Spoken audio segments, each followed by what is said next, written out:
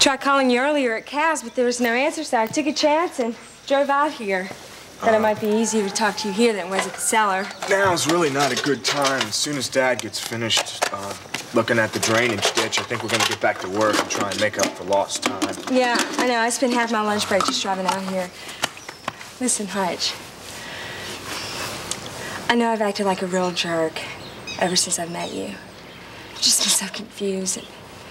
I know that's no excuse. What do you want from me? Well, I just know that you've been upset about all you've learned about your dad. I thought I could help.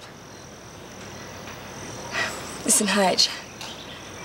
I'm asking for another chance.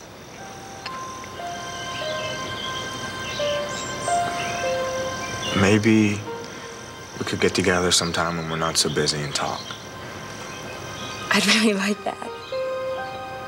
So would I.